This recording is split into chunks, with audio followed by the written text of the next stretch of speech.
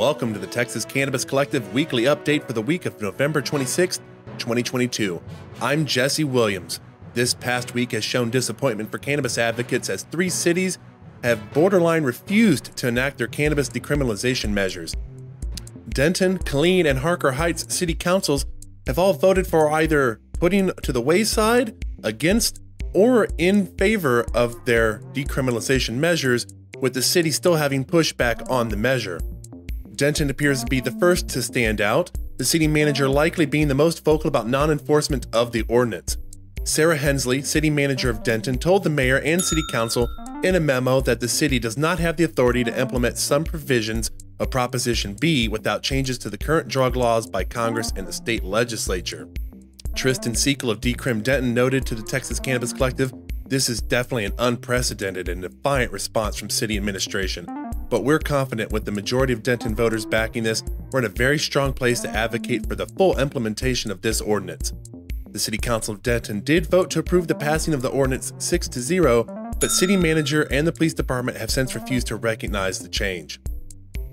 Likes and subscribes go a long way to helping others receive cannabis news updates in our state. You can also subscribe to our newsletter at txcannaco.com and search for Lone Star Collective Podcast and Texas Cannabis Collective in your search engine to get updates about our show and weekly news. Our news updates and podcast are sponsored by Oak Cliff Cultivators. For more information on Oak Cliff Cultivators, visit oakcliffcultivators.com. Support also comes from Thrive Apothecary. For more information on Thrive Apothecary, visit thrivetx.com. Killeen and Harker Heights residents face a different situation with their initiatives in front of their city councils. Harker Heights decided to completely repeal the decision cast by voters at the polls. The council voted against the measure with a 4 to 1 final vote. Councilwoman Linda Nash was the only member that voted to keep the ordinance. City Attorney Charlie Olson gave council his legal opinion on why the ordinance should be repealed at the end of the citizen comment period. He noted it places limitations and burdens on their conduct, Olson said. It essentially targets police officers. Olson also noted that he believes the ordinance violated separation of powers between judicial and legislative branches. Several members of the community spoke for and against the measure that was in front of the council.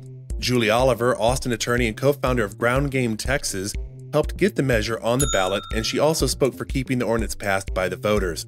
Oliver noted that in 2019 legislative session, Texas legalized hemp, and because of that, the marijuana decriminalization ordinance should stand to protect those who use legal hemp. She noted legal hemp is indistinguishable from illegal marijuana. Please let the voice of the people stand, Oliver said.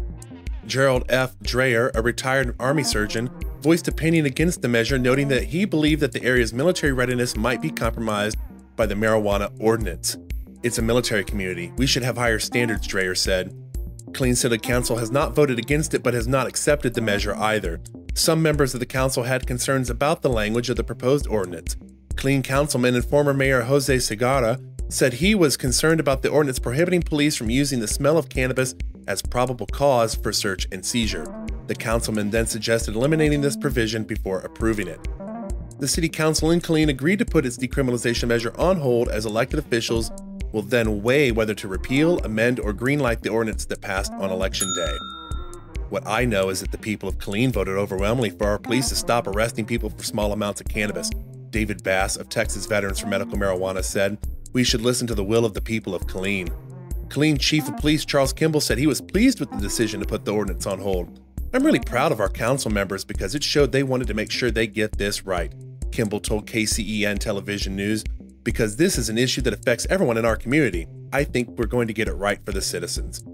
There's not a set date the council has noted to return to the measure that is publicly posted as of this recording. That is it for this week in cannabis news here at the Texas Cannabis Collective. If there is something going on in Texas cannabis space you think others should be aware of, just drop us a note on our contact form online. Be sure to subscribe to our newsletter at txcannaco.com and search for Lone Star Collective Podcast in your search engine to get updates about our show and weekly news. Likes and subscribes to our YouTube channel for updates as well. Have a safe week, Texas, and stay warm, my friends.